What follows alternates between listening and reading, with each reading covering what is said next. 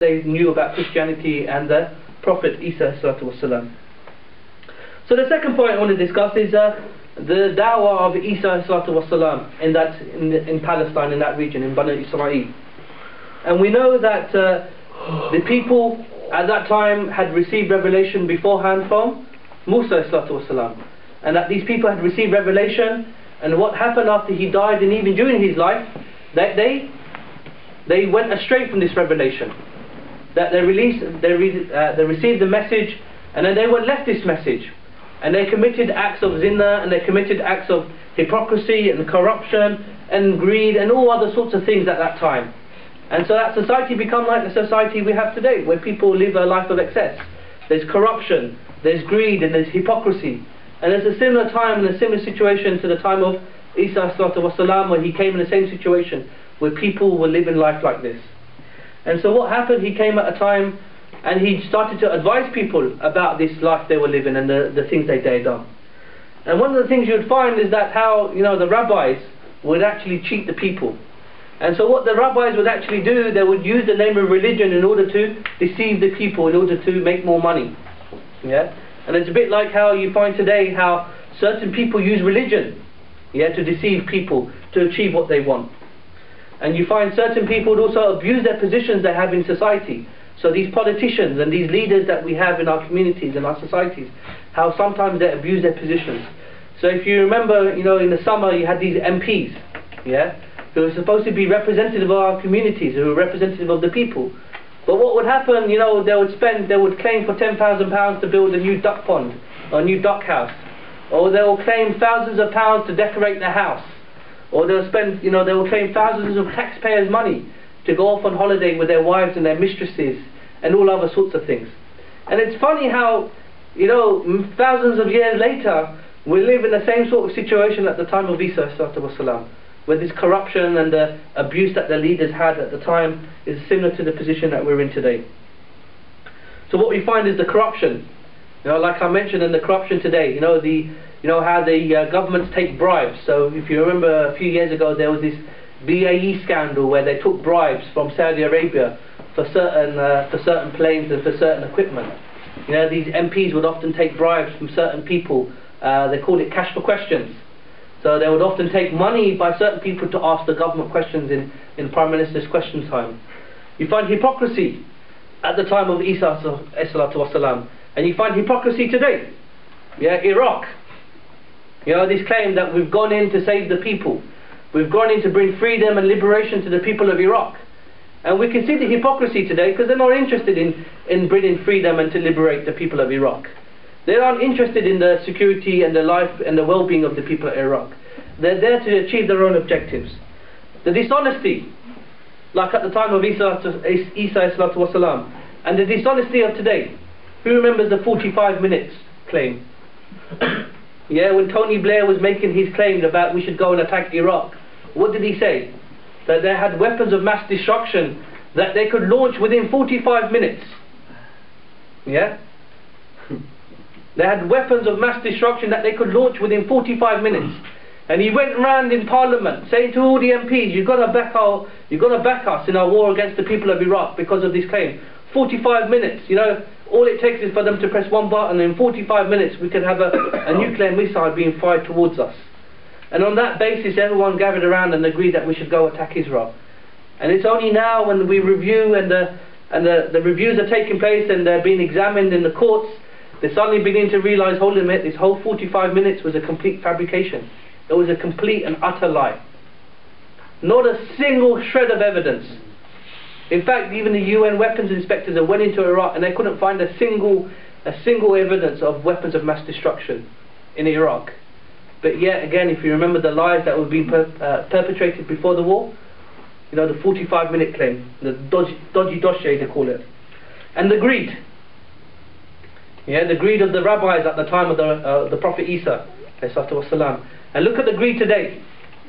You know, the greed to go into Iraq to get their hands on this oil. To get their hands on their gold in the various different places. To get their hands on these conflict diamonds in Africa. You know, these countries, how they go around, they're only interested in these material gains, this material wealth.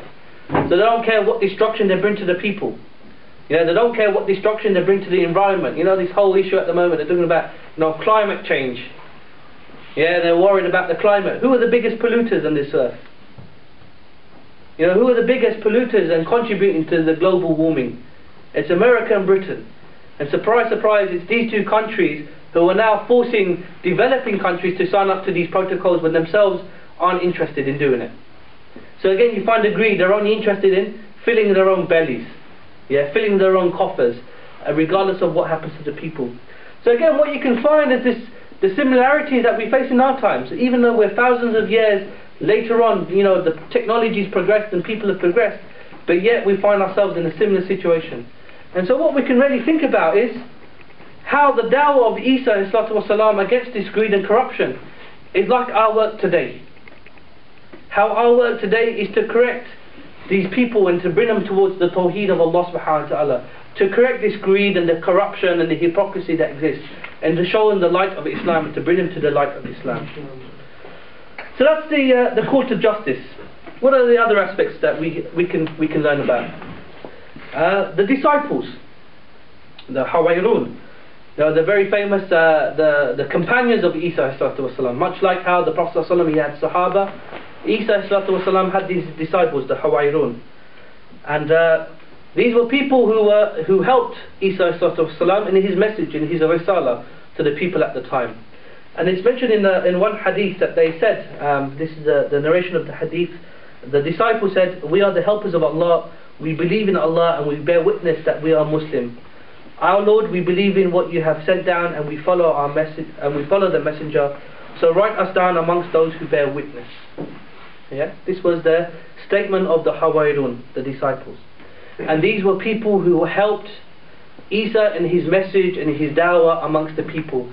Just like how the Sahaba helped the Prophet ﷺ in his message in, in Mecca and in Medina. And he helped spread these messages amongst the people. But what you find, what happened to these disciples? A very similar situation to what happened to the Sahaba and the Muslims at the in, the, in the time of Mecca. What happened? The lies and the propaganda began. began. They were being accused of being all sorts of things you know, spread, spreading dissension amongst the ranks, spreading lies amongst people, taking people away from their from their history and, and breaking up their families, you know, making them worship false gods and things like that. Just like how the lies of the Quraysh, like we saw in the video film, how they lied about what the the Prophet, ﷺ and the, the Muslims were doing. They were trying to break the traditions of thousands of years and ancestors to make them worship this one Allah. So the people of the time of Isa, they started to spread these lies and these propaganda. Yeah? They claimed all sorts of things. They claimed that these people, the only people that follow Isa were who? Were the poor people. You know, the slaves and the outcasts. These were the only people that followed the Prophet uh, that followed Isa. And in fact, it's a similar situation to what the Quraysh made with regards to the Sahaba. What did they say about the Sahaba? Who followed Sahaba?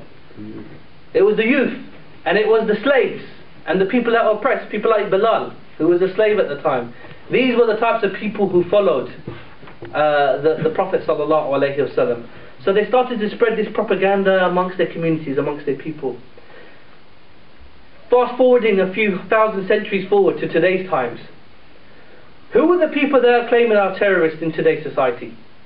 Who are the people that are claiming these people, they only be, the only reason they're becoming Muslims, or the only reason they're calling for Islam is because they're poor, because they're weak or because they're oppressed.